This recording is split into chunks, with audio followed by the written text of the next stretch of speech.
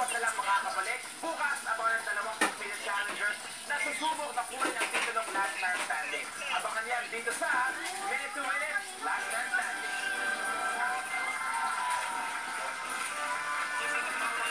Tayo yung isa, no?